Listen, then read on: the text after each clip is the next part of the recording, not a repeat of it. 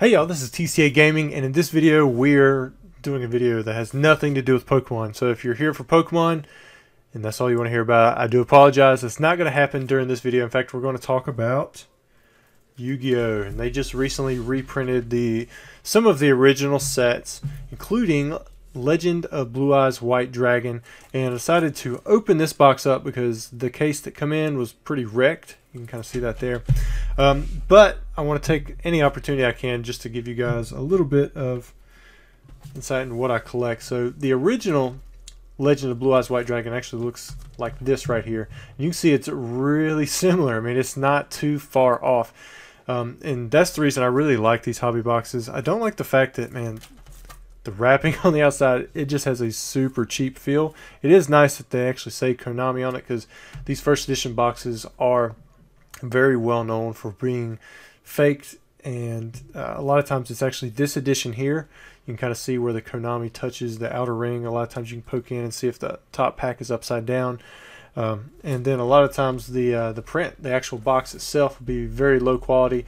I've done the normal checks that you can do on this one so I believe that this one is legitimate. But there is another version that is for some reason less faked. It's got this bigger first edition uh, symbol on it. One of these I believe this is this has glossy, this has wavy. Those are just two different types of uh, original foiling for the, for LOB. Uh, then you also have the Unlimited, which you can see actually looks like this style here. I'm not really too sure if like this is glossy and that is wavy. I, I'm not, like I said, I'm not an expert on the stuff, but I do know that the fakes are, are out there and you can, tell, you can see it's kind of like modern Japanese Pokemon boxes. They, there's just no no identifiers on the actual wrap itself. Now, they did reprint more than just Blue Eyes White Dragon. They printed uh, Metal Raiders, Spell Ruler, Invasion of Chaos, and uh, Pharaoh Servant, in which I really wish instead of Invasion of Chaos, they had did Labyrinth of Nightmare. This is probably my favorite set. I really like a lot of the cards in here the to play with the monsters, traps, the the magics. United We Stand was always one of the my, the coolest cards in my opinion. Uh, I believe torrential tributes in there. You've got uh, mage power, a lot of really powerful cards that um you that come out in this set that worked really well with the goat format. I, I doubt they do now, but. Um, this right here, the, I, I showed this box specifically because this is actually a 36 count box. There are very few boxes that Yu-Gi-Oh! ever printed 36 count. They actually printed these in 24 count as well.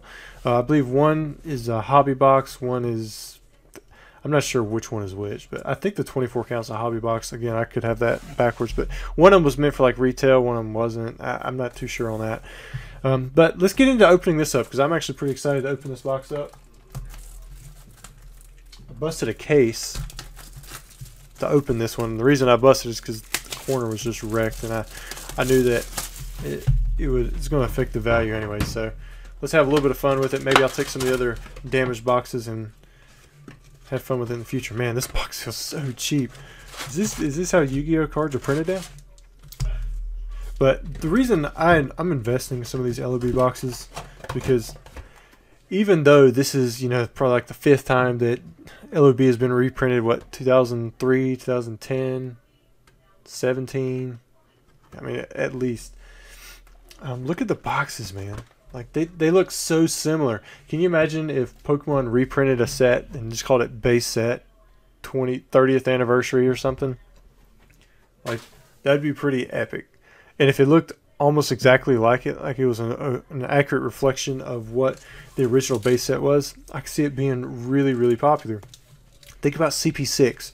That was an accurate representation of the original Japanese base set that was released. But Celebrations didn't look anything like the English side base set. Alright, so let's see what we have here. Now, I'm not sure how these packs do now. I'm not sure if it's uh, going to get a hollow in there or what. You can see these do have the EN on it, so the cards are, the original cards don't have EN on them. You can see they're dated 2020. Okay. All right, so pack number one got a giant soldier stone. Ooh, and a red eyes black dragon. Wow. Way to start off on. I, I wonder if you're going to get a hollow in every pack. That or we just hit one of two ultra rares that's going to be in the entire box. It used to be, you you had a 1 in 4 chance of pulling a hollow because it was 1 in 6 to pull a super rare. Well, it's slightly better better than that. 1 in 12 chance to pull an ultra rare, and then it was usually like 1 in 24 to pull a secret rare. So in one box, you'd get one secret rare, which is kind of like this, but it's like sideways, crosshatch, silver print. Then you would have an ultra rare, which is gold lettering, which that's what this is. Other than you know, they didn't. This wasn't this wasn't hollow on the original cards. In fact,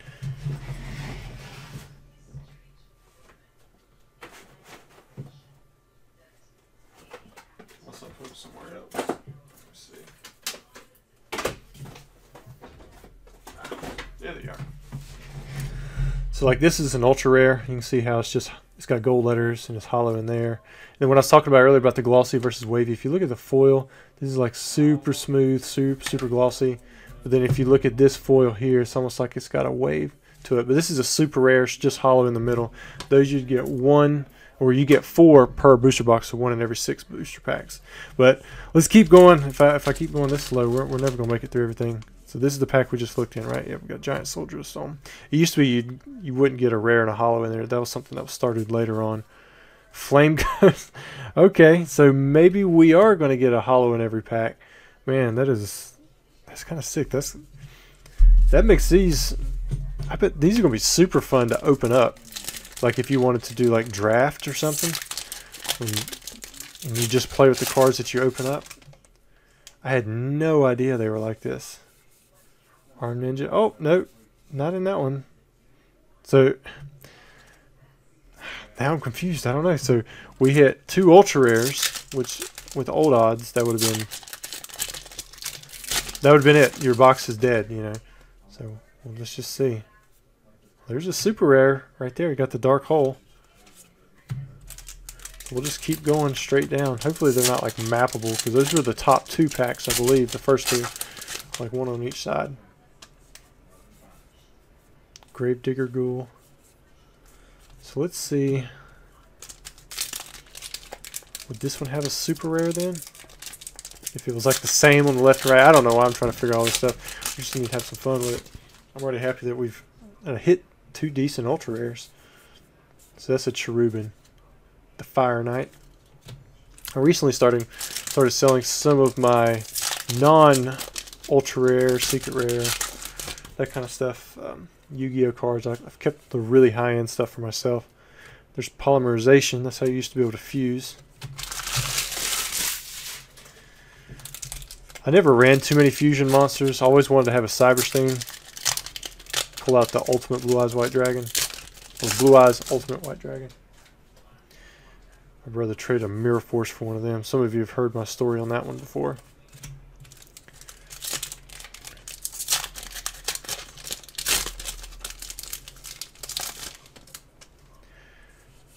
Alright, what's next? Alright, so nothing in that one either.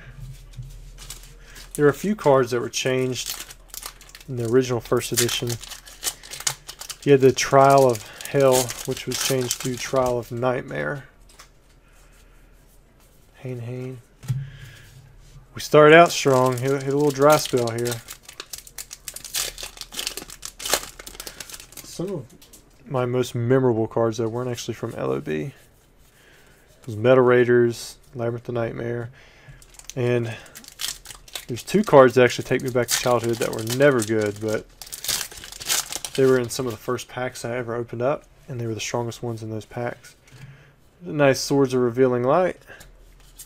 So we haven't passed the initial odds just yet. If this was a regular box, back then we'd have one secret rare and one super rare left. Two-pronged attack. Felt a little thicker. But those two cards were Crab Turtle, which was it's a ritual monster. And you had to have a, a magic card. I believe it was Turtle Oath. And then that Turtle Oath. Ooh, Gaia the Dragon Champion. Got a secret rare. Centering isn't great on it, but man, look at that. What a pull. And then you'd have to sacrifice stars equal to his stars, which I think Crab Turtle might have been a seven-star monster, if I'm thinking right. And you you could send them from your hand, which was kind of cool. There's another Gravedigger Ghoul. But I remember playing with a kid that I met when I went to see my grandparents before uh, they passed. And he was the neighbor, and we played Yu-Gi-Oh all day. I I, we were just trying to learn makeup rules off of how you, uh, off of the show. And if you've ever watched the show, you know that uh, you can't really go off of how they play, especially the original Yu-Gi-Oh. But um, that was one card that I remember playing that day, and it just sticks out in my head. The other card is Wing Weaver. It was from Pharaoh's Servant. It had 2,750 attack points, which I mean that was that was pretty stout for a monster. I mean Blue Eyes White Dragon had 3,000. But uh, the only reason that one sticks out, it was in the first pack I had, and I thought it was pretty strong, and it was. It wasn't like a hollow or anything like that. But I remember being at school, and somebody asked me what my strongest Yu-Gi-Oh monster was, and I said, well, my strongest is Wing Weaver. And he looked at me, and I just remember what he said. He was like, "Man, my deck would kick your deck's butt." it's like, it's like, well, you asked if it was what was the strongest monster card, not like what's the best card. I mean, and a deck isn't really based off of your strongest monster or any of your best cards. It's really about how you put them together and how consistent you play them. So I just kind of roll with it, but it, it, it always makes me chuckle thinking back to it. There's the fissure. Man, you know, we may have hit the two ultra rares in the very first two packs. When I hit those two, I would have I would have thought it would have been more likely that we would have hit um, there's the fourth super rare that we would be hitting ultra rares in every pack because they changed up the odds over it actually being the same odds at that point. Like I would have thought it would be more likely to go that way, but we got three packs left. This deck or this this box may be dead. There's the pot of greed. Because these are the exact odds that it used to be. One secret rare, two ultra rares and four super rares. Every now and then, you might get an extra super rare. But I don't know if I've ever seen three ultra rares. I, I haven't opened up enough. My father, he bought me a Metal Raiders first edition box. It was a 36, maybe it was unlimited. It was a 36 count box, if I'm remembering right. Yeah, there it is, Metal Dragon. All right, so we got the secret rare. There's two secret rares, Tri-Horn Dragon and Gaia the Dragon Champion. The way the secret rares work on Yu-Gi-Oh! is usually the first, the very last. So 125 is the very last card in the set. If it was triple zero, that'd be the Tri-Horn Dragon. Then you have all the original sets had 10 ultra rares, so this is one fifth of the set. One half of the secret rares, one fifth of the ultra rares, and there's also 10 super rares. So this is 40% of the super rares you can get. Didn't get the Raigeki. That's the one that I would have really liked to have gotten. Um, Curse of Dragons, okay. Swords is pretty good. Dark Hole is pretty good. Raigeki's the one I wanted there. But anyways, guys, hope you enjoyed the video. Uh, it's been a long time since I've opened up any Blue Eyes White Dragon. Booster packs probably last time was when Ruxin was here. He actually opened up, he pulled the Exodia. But it's kind of cool to see the same odds, similar pack. But as always, hope you enjoyed the video, and we should have some Pokemon stuff coming out very soon. Thanks.